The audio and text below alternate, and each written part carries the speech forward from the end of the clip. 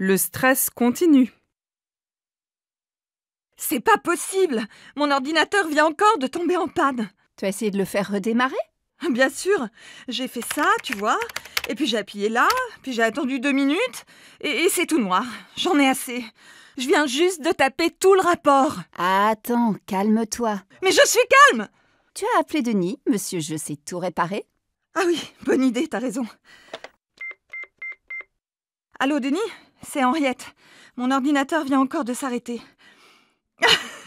Attends, je viens de m'apercevoir qu'un câble est débranché. Ah, pardon, que je suis bête. Je t'ai dérangé pour rien.